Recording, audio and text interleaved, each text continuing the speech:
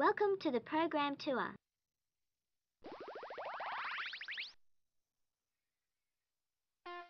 Mastermind was designed to be helpful and friendly, running the Intergalactic Space Agency computer system.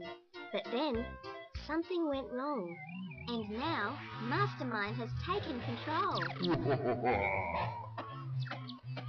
Stop filming me. Turn the camera off. At beginner level, you must battle Mastermind to free the space station. At intermediate level, rescue the moon base from the clutches of Mastermind. At advanced level, the whole world is at stake. Can you save planet Earth from the malice of Mastermind?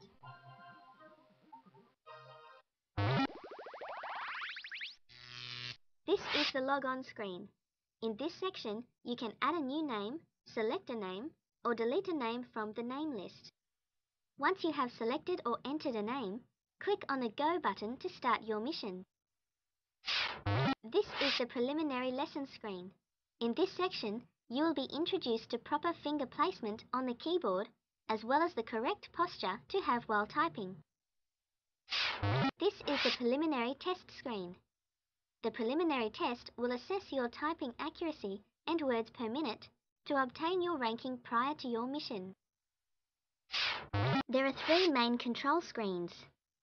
The space station for beginner level,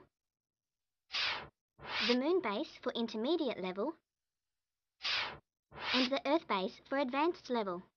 From these screens, you can navigate to all of the different parts of the program.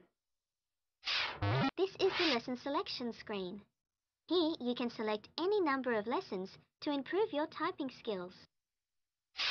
This is the lesson tutorial screen, where you will learn how to touch type each key on your keyboard.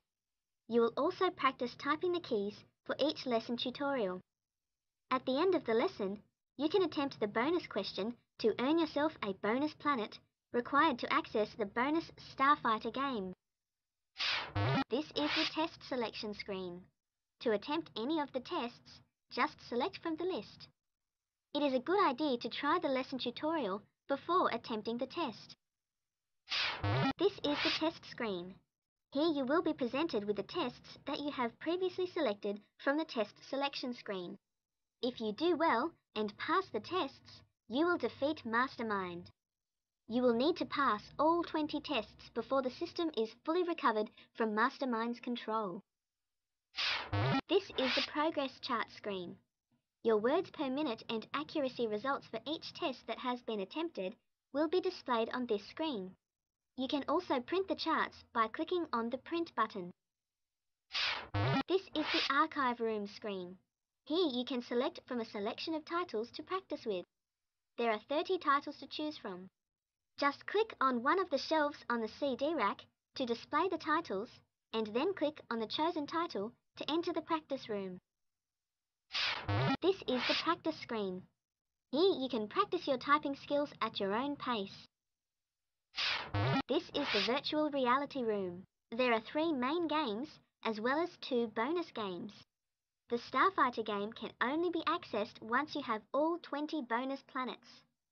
These can be earned after each lesson tutorial. This is the top 10 screen. The best top 10 players are displayed on this screen for the Hover Surfer, Defender, as well as the Space Race game. Type quickly and accurately in the games and you could earn a place in the top 10. This is the Hover Surfer game. Use your typing skills to deactivate the force fields so that Mick does not get zapped. This is the Defender game.